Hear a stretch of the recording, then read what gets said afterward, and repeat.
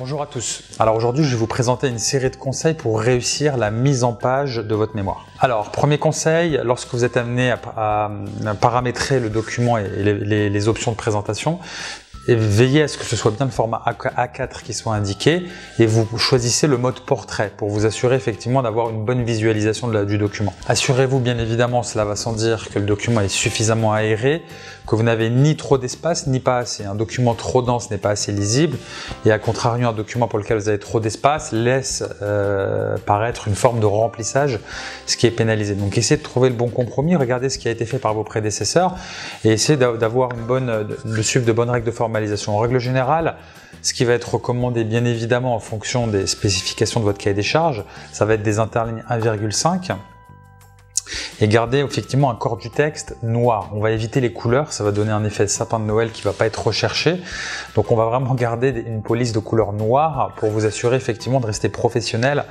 Et en règle générale, c'est ce qu'attendent les écoles. Enfin, dernier critère, vous choisissez effectivement euh, d'avoir une police justifiée. Hein. C'est une règle universelle de formalisation, ça vous permet d'avoir on va dire, des, paragraphes qui sont euh, réguliers au niveau de la formalisation et, ça valorisera la forme de votre mémoire, notamment lorsque vous serez amené à imprimer votre document. Lorsque vous choisissez les options de formalisation du document, assurez-vous que vous êtes au niveau 100% pour éviter un effet loupe ou d'avoir un visuel trop petit sur le document, ce qui ressortira différemment lorsque vous imprimerez.